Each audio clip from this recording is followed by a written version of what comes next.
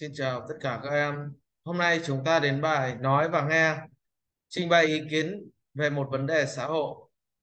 Bài viết của em được chọn để tham gia buổi tọa đàm con người về thiên nhiên do nhà trường tổ chức.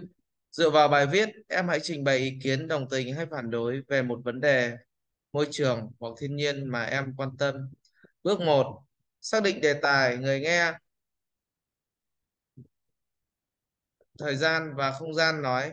Để thuyết phục người nghe và ý kiến, quan điểm của mình, em cần trả lời các câu hỏi sau. Người nghe là ai? Họ mong muốn thu thập được gì từ bài nói của em? Buổi tọa đàm diễn ra ở đâu? Em có bao nhiêu thời gian để trình bày? Bao nhiêu thời gian cho phần trao đổi với người nghe?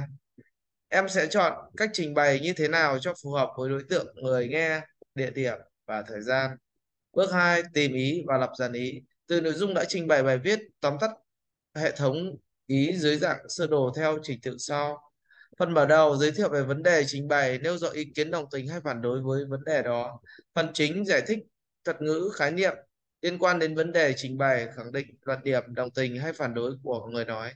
Trình bày lý lẽ bằng chứng để làm sáng tỏ luận điểm.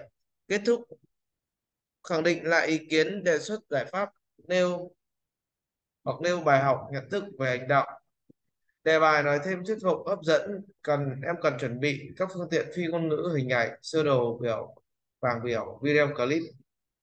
Bước 3 luyện tập và trình bày. Khi luyện tập và trình bày, em chú ý.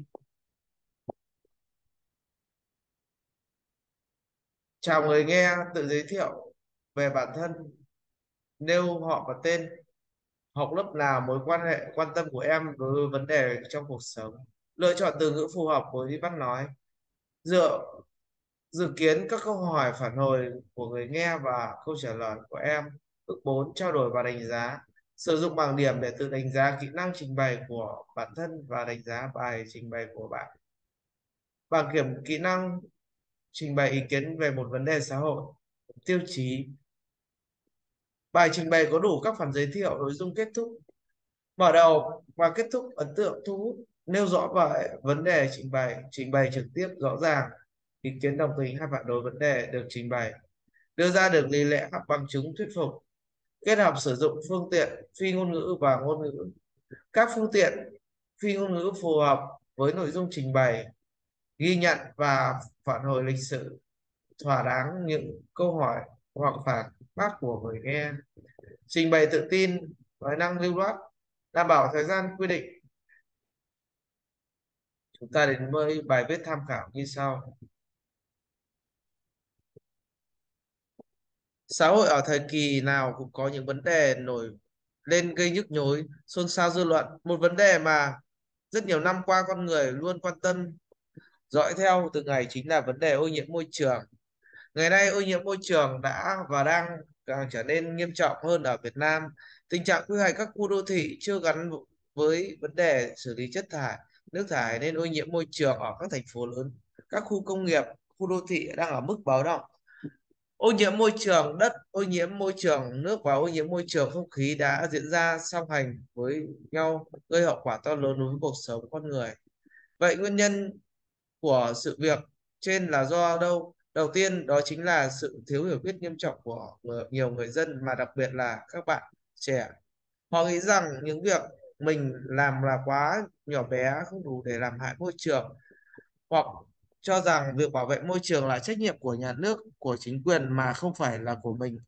Một số khác lại nghĩ rằng việc môi trường bị ô nhiễm thì có thể ờ, có làm gì đi chăng nữa thì cũng không đáng kể.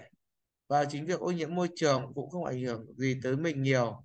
Chính tình trạng cha chung không ai khóc này để lại những hậu quả to lớn.